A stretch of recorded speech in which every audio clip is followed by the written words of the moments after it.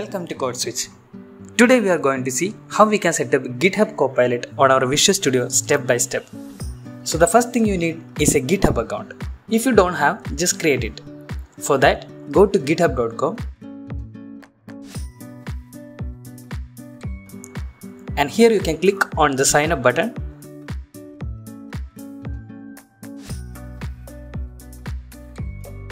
and once it's ready you can create a new github account secondly ensure you are already registered on the copilot waiting list.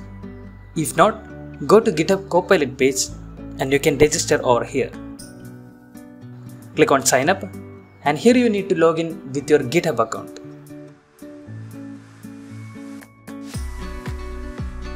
And there we go.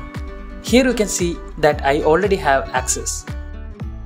Step number 3 we need to install the Copilot extension for our Visual Studio 2022. So go to the extensions and here we can search for the Copilot.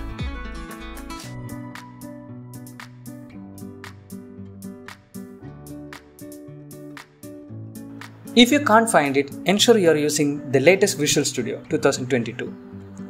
For this, go to help and see the active version that you are using.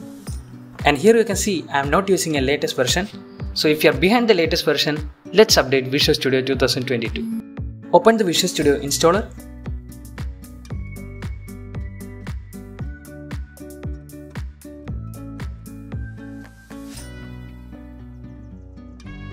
And click on update. And now you can wait until the update completes. Once our update is done, search again for the Copilot extension and then you can install it.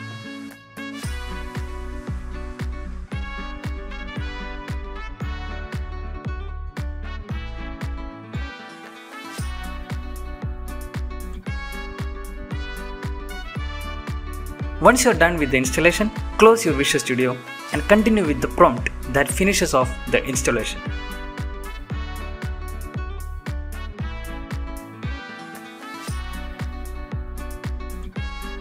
Alright, the next step is to activate our Visual Studio Copilot extension. For that, open the Visual Studio again and wait for this message to pop up. Now a device code is now copied to your clipboard automatically.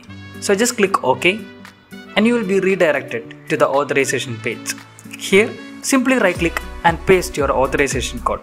Click on continue and complete the authorization procedure.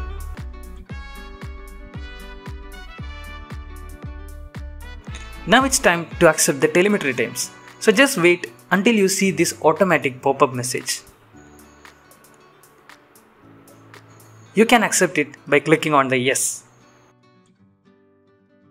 Now that we have done setting up GitHub Copilot, now let's explore it. Let's say we need to create a base64 encode and decode function. Let's create a class for it and we can name it base64 encode and decoder.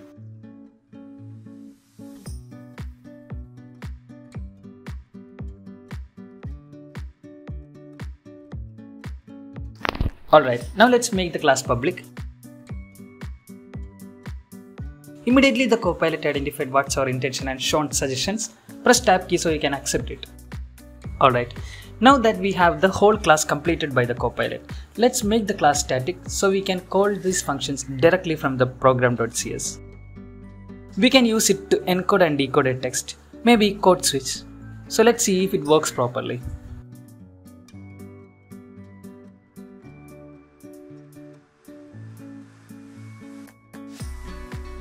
Yes, it does. So this is how Copilot can help us suggest what we need to be written. Now imagine you are not satisfied with its suggestions. If you want to see if there are any other ways to achieve the same result, there is also a way. Let's say we need to write a function that calculates days between two dates. And we are looking for different ways to write it. And once it suggests simply plus alt plus dot or alt plus comma key, to see various options. You can go through all the options and once you are sure about one of them, simply press the tab key again and that's it. So let's explore some more IDE features. Once you have set up Copilot, you can see a Copilot icon over here. Clicking on it will give you additional options to enable or disable the Copilot while Visual Studio is running. That's all for today. Happy coding!